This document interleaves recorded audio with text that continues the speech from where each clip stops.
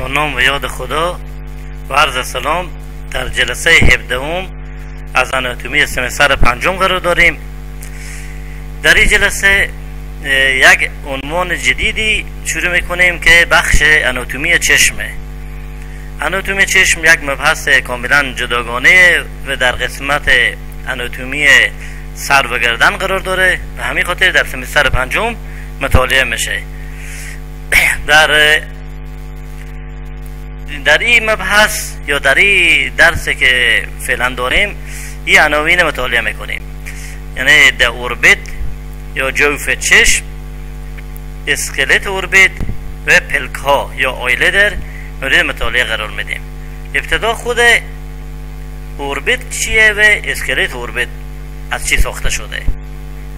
اوربیت چیه؟ دو تا جوف دو تا جوف هرم داریم.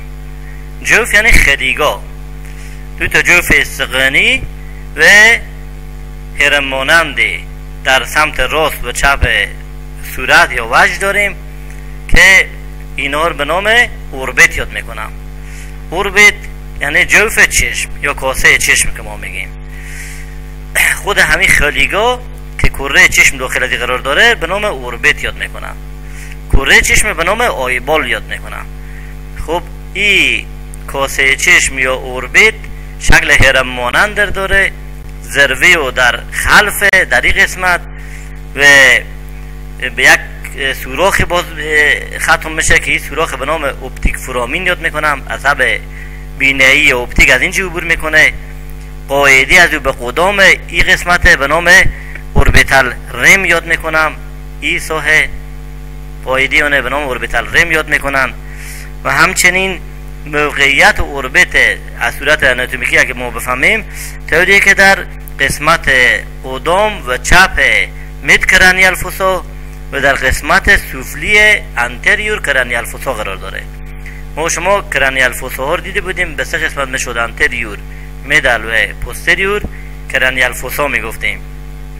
موقعیت اوربیت ها که در چپ و در راست و چپ و قدام یکی به سمت راست یکی به سمت چپه و در قدام middle mid cranial fossa و همچین در سفلی anterior cranial fossa موقعیت دارن خود orbit در داخل orbit چه چیزهایی قرار داره؟ یک تعداد ساختمان های در داخل orbit قرار داره که اینا شامل خود کره چشم یا eyeball ه عصبه که از چشم خارج میشه به نام nerve optic یاد میشه یا عصب optic یا عصب بینایی.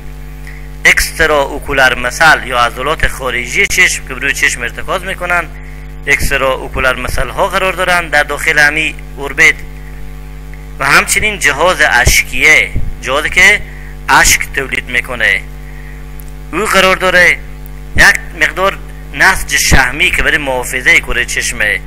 او قرار داره یک تعداد صفاق ها یا پرده های در اطراف از اینا قرار داره و همچنین یک مقدار اویه و اصابیه که به این عناصر یعنی به کره چشم و به صفاق ها و به عضلات اینا می‌رسه اویه و اصاب اینا در اینجی موقعیت داره.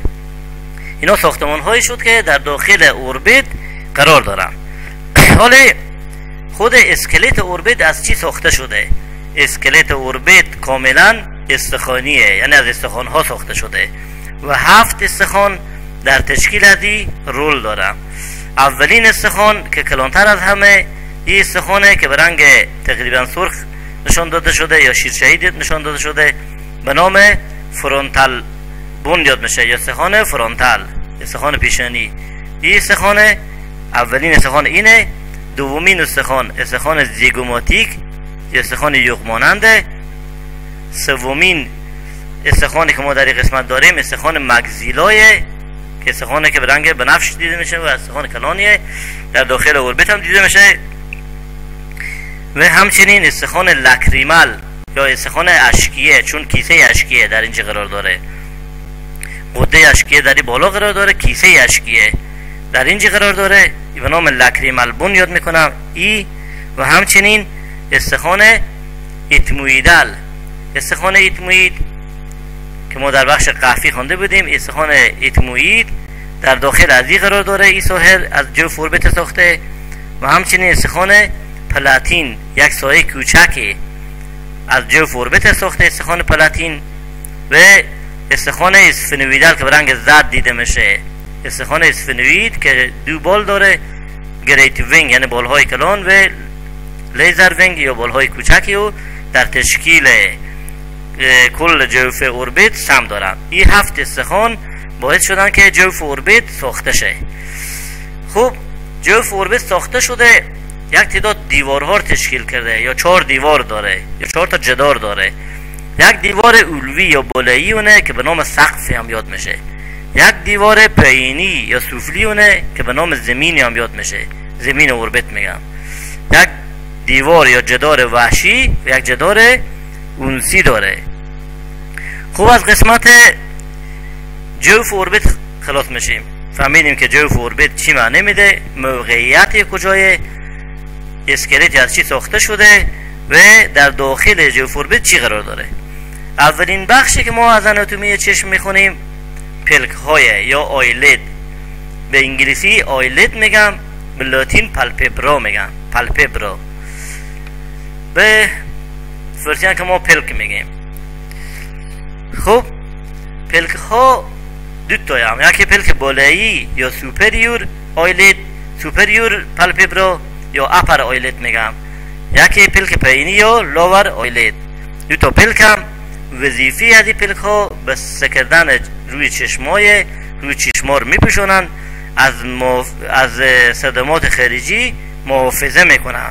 و همچنین نمی‌گذارن نور بیش از حد به چشم وارد بشه قسمت هایی که نور زیادتر باشه پلکا بسته میشن و نمی‌گذارن نور شدیدی که به چشم ضرر میرسونه وارد شه. وقتی که باز باشم در بین پلک ها یک درز بقی میمونه که به نام پالپبرال فیشر یاد میشه یا درز پلکی. خب پلک خود پلک ها از چند طبقه ساخته شدن یا یک ساختمانی که از چند طبقه ساخته شده تقریبا از پنج یا شش لایه یا پنج یا شش طبقه ساخته شده.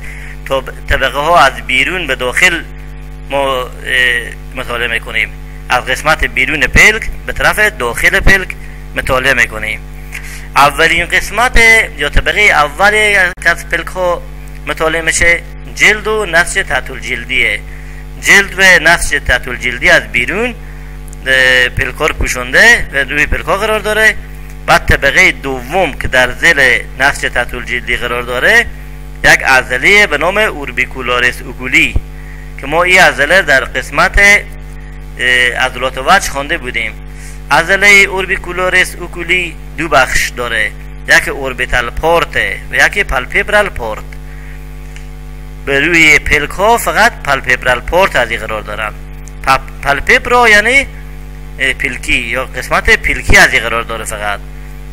به اوربیتال پورت از ما در اینجی کار نداریم.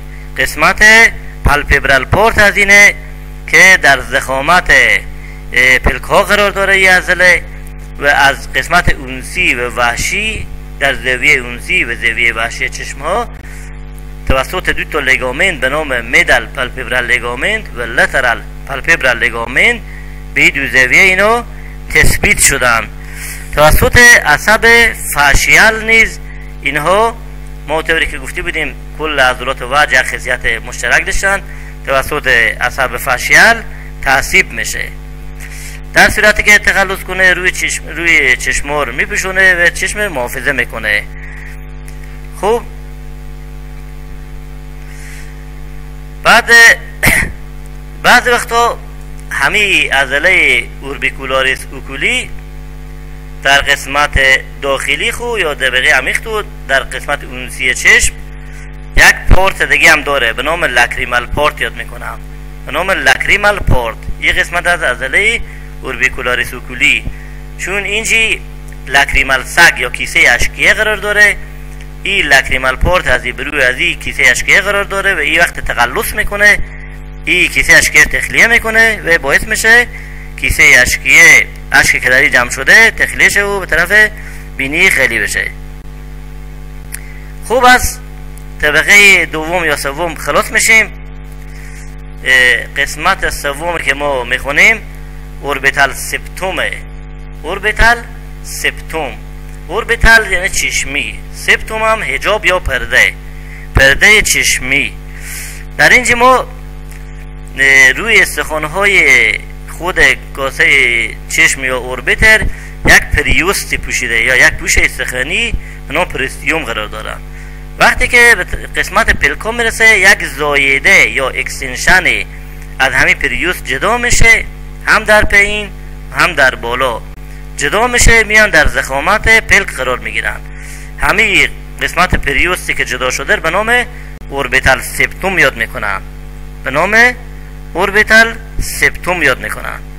یکی در پلک بالایی داخل میشه یکی در پلک پایینی داخل میشه.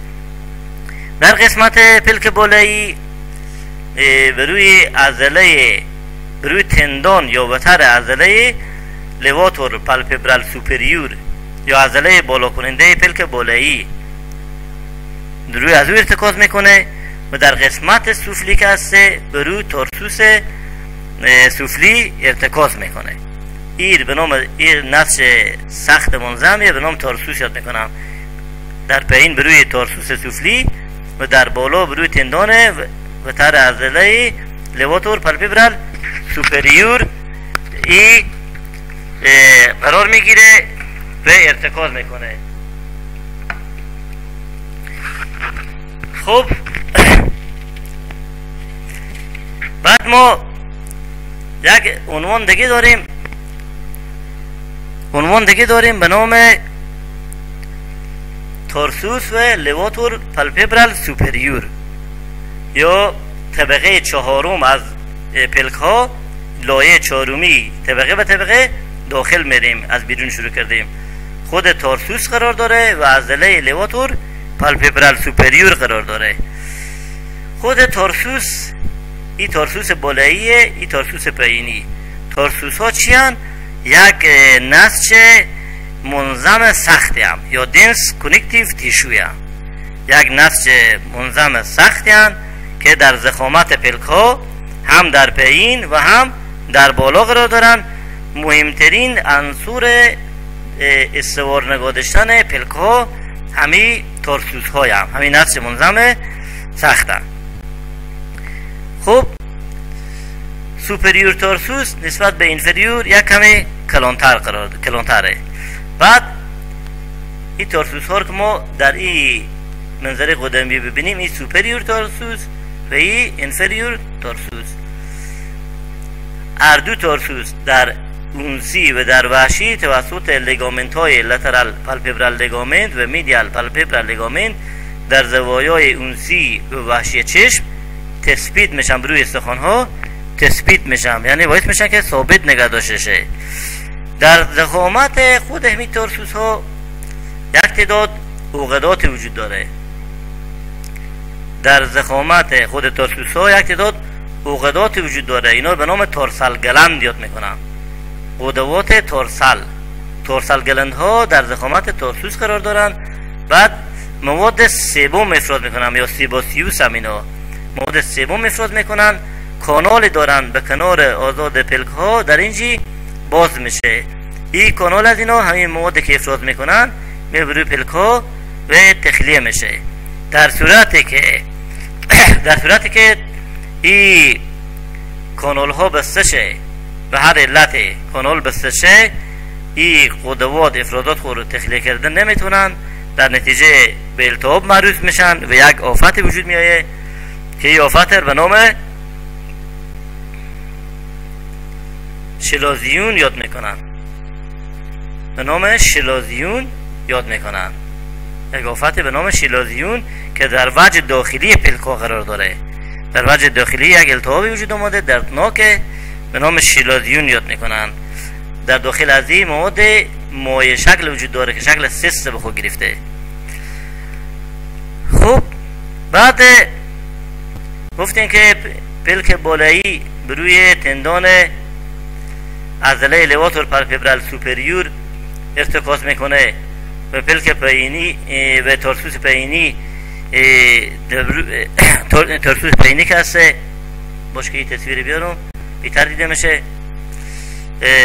خب فرق tarsus بالایی و پایینی در این فرق عمده همینه که اینجا عضله لیواتور پالپبرال سوپریور تندون از او میای در قسمت اولوی از این ترسوس در این قسمت ختم میشه.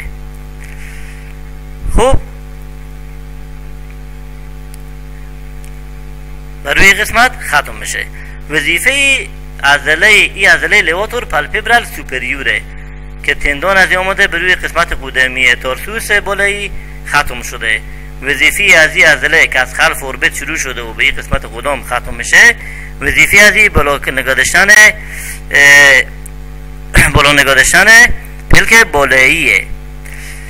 خوب بعد این عضله عضله levator palpebral superior توسط زوج سوم یا oculomotor تصیب میشه. توسط زوج سوم تصیب میشه.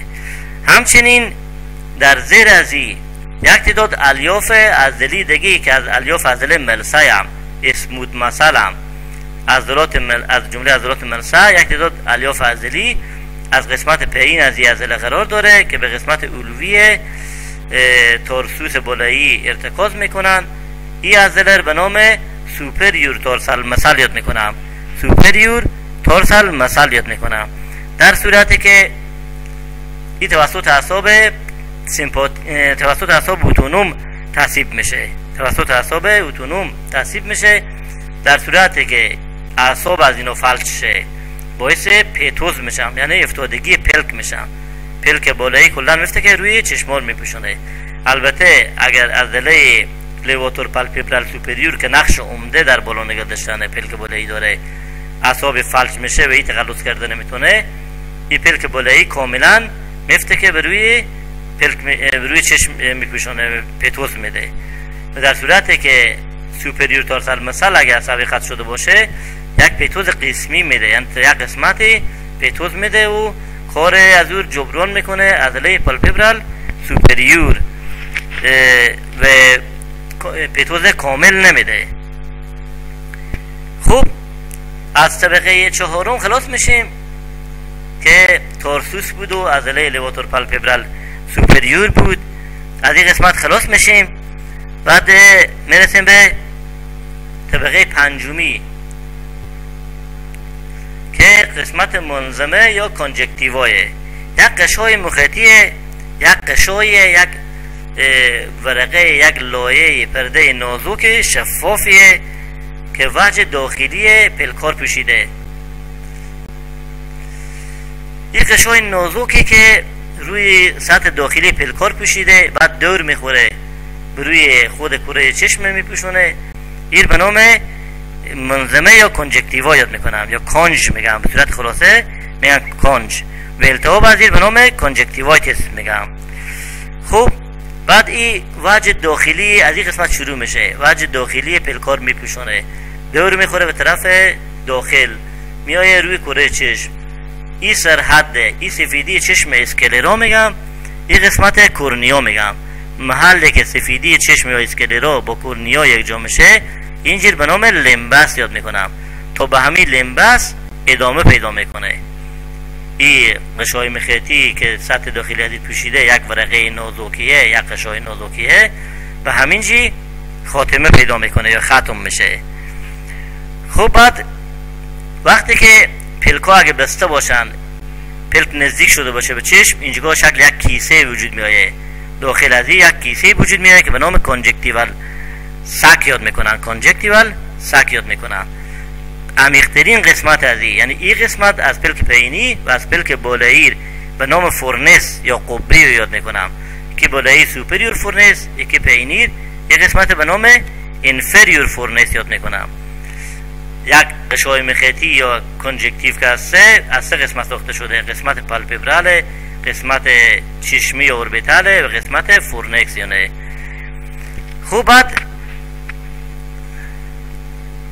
این تصویر هم که دهنده التهاب خود cornea یا conjunctiva conjunctiva یک غشای شفاف در حالت عادی دیده نمیشه به حالت نورمال به این شکل وقتی دستای الوده به چشم می‌زنیم یا به هر علت این کنجکتیوا التهابی میشه چون در داخل از این های خونی بسیار نازکی قرار دارن چشم رنگ سرخ در میایه همین که ما می‌بینیم چشم ما سرخ و سوز می‌کشه خورش میده ای علائم التهاب کنج یا کنجکتیوای که کنجکتیوایتس گفته میشه.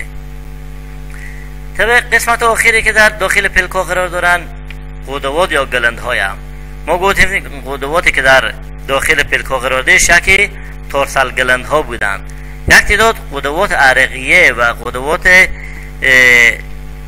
عرقیه دیگه هم قدوات چربی هم در قسمت فولیکول های مژه قرار دارند.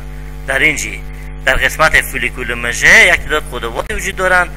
کانال های دارند این قدوات از این قسمت که این کانال های به طرف کنار آزاد پلکا باز میشه و مواد که افراز می‌کنند یعنی قدوات عرقیه و چربی که هستن اینا مواد که افراز می‌کنن از کنار مجه ها خارج میشه از این کانال و به بیرون رانده میشه. و در صورتی که این کانال از اینا بسته شه کانال از این بسته شه این قدوات معروض به التهاب میشن. باعث وجود آمدن التهاب میشن و التهاب از اینا به شکلی که به نام stye یاد می‌کنم. یک آفتی وجود می‌کنه که به نام stye یاد می‌کنم stye معمولا در کنار آزاد پلک های و chalazion در وجه داخلی پلک های stye سختره و chalazion swelling داره.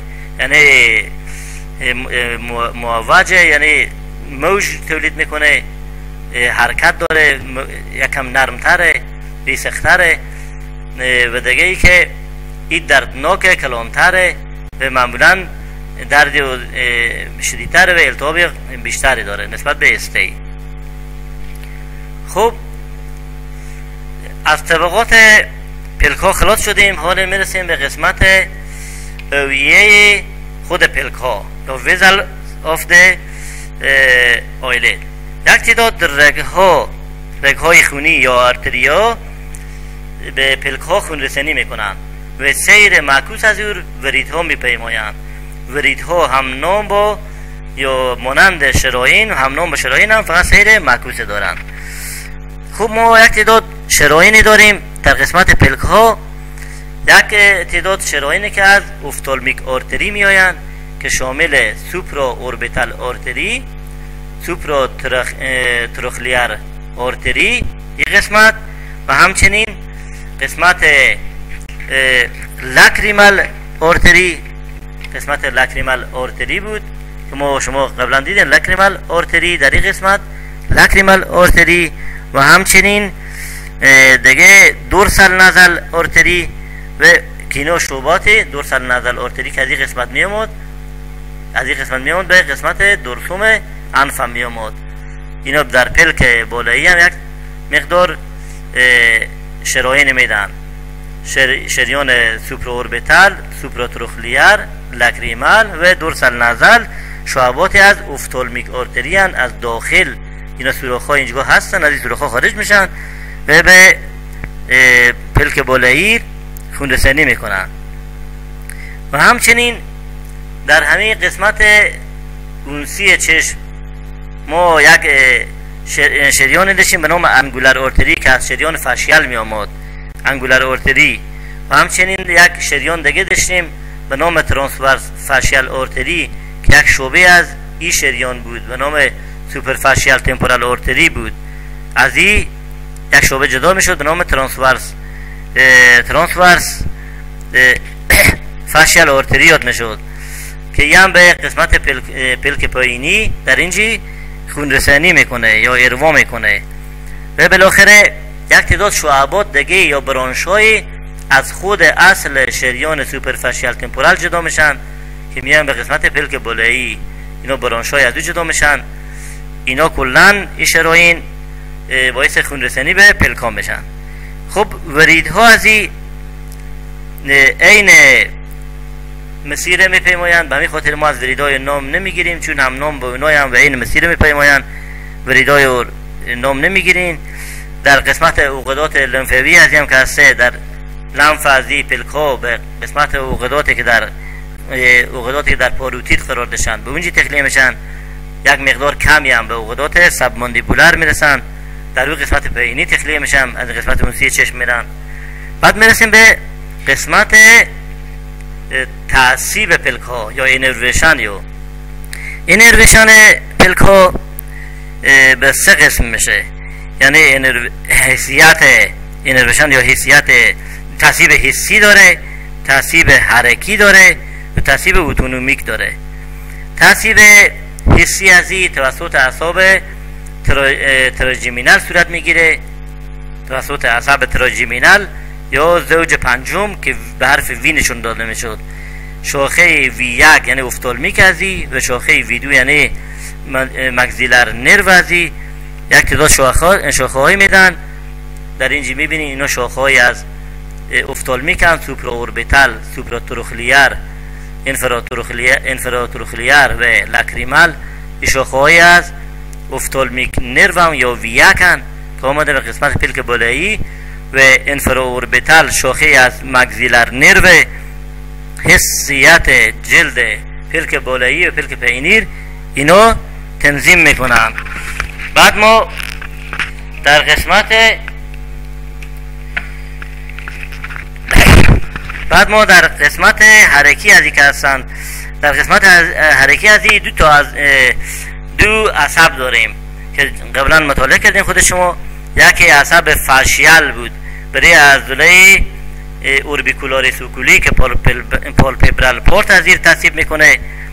و و یکی دیگه هم عصب oculomotor ه که عصب عضله levator palpebral superior تعصیب می‌کنه. و عصب autonom ه که برای عضله supra tarsal muscle بود نور تعصیب می‌کنه. در صورتی که عصب facial عصب facial که پلک پایینیر تعصیب کرده palpebral part ر orbicularis oculi ر تعصیب کرده اگه ای تخریب شه سبب افتادن یا drooping پلک پایینی میشه. lower eyelid به طرف پایین میفته و در صورتی که عصب oculomotor که levator palpebral superior تعصیب کرده او تخریب شه levator palpebral superior نتونه وظیفه خود انجام ده و تقلص کنه. در این صورت باعث ptosis میشه یعنی پلک بالایی کلا روی چشم میپوشونه و پلک و ptosis ازی یا افتادگی پلک به صورت complete یا کامل می‌باشه. و عضله tarsal که زیر عضله عضله ملسایی بود که در زیر عضله levator palpebrae superior قرار داشت و از جمله عضلات ملسا بود و توسط اعصاب سیمپاتیک تصیب می‌شد. اگر عصب سیمپاتیک از او قطع شه سبب پارشیال پتوس میده یا پتوز قسمی میده. خب از قسمت پلک خلاص میشیم. خود پلک ها فهمیدیم که پلک ها چی ساختمانی هم وظیفی اونا چیه؟ از چند لایه و از چند طبقه ساخته شدن. خون رسانی از اینا توسط چیه و ترتیب از اینا توسط چیه؟ این درس امروز ما بود. تا درس آینده که انشاءالله روز بعدی درس ادامه پیدا می‌کنه شما رو به خداوند مهربان مسپاریم خداوند یارو و نگهدار شما.